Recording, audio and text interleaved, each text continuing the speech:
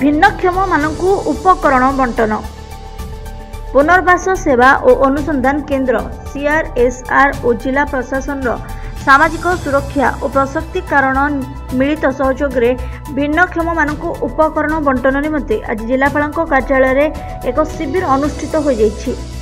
ଏ ଶିବିରରେ ଜିଲ୍ଲାପାଳ ଜ୍ଞାନ ଦାସଙ୍କ ଅଧ୍ୟକ୍ଷତାରେ ଭଦ୍ରକ ଜିଲ୍ଲାରେ ଚଉସ୍ତରି ଜଣ ଭିନ୍ନକ୍ଷମମାନଙ୍କୁ ଭାରତ ସରକାରଙ୍କ ଏଡିଆଇପି ଯୋଜନାରେ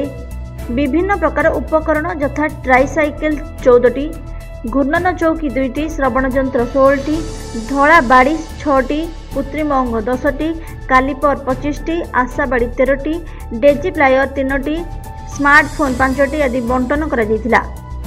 এই কার্যক্রমে অতিরিক্ত জেলাপাল শ্রী অরুণ কুমার মহাপাত্র পূর্বতন জেলা সামাজিক সুরক্ষা অধিকারী পদ্মনা রায়